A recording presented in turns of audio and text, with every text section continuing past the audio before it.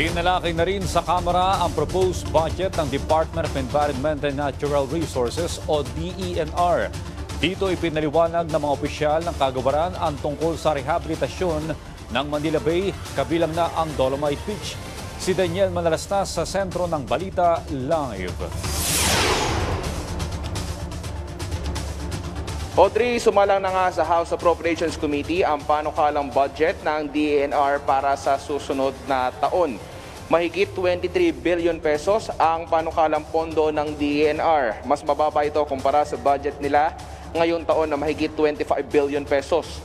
Naungkat ng mga kongresista ang usapin sa rehabilitasyon ng Manila Bay dahil nakikita ng ilang kongresista na nagkaroon ng epekto dito ang kontrobersyal na Dolomite Beach. Pero tiniyak ni DNR Secretary Maria Antonia Yulo Loizaga na tinitignan nilang maigi ang environmental at social impact ng proyektong ito.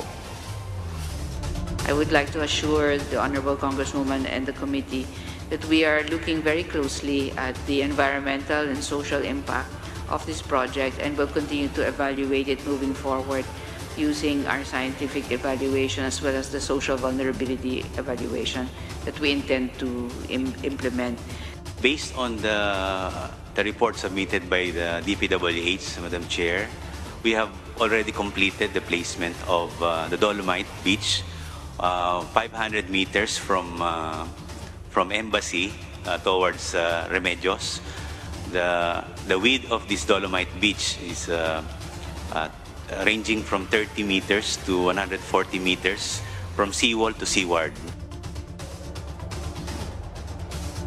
Sa ngayon, kompleto na rin daw ang pagtatayo ng infrastruktura sa Baywalk ng Manila Bay. Pero nakikita nilang problema sa rehabilitas- rehabilitasyon ay ang water hyacinth at ang solid waste. Kaya naman, nakikipag-ugnayan sila sa DILG at sa mga lokal na pamahalaan para ito ay matugunan. Tiniyak, tiniyak ng DNR na ipatutupad nila ng maigi ang environmental laws. Audrey.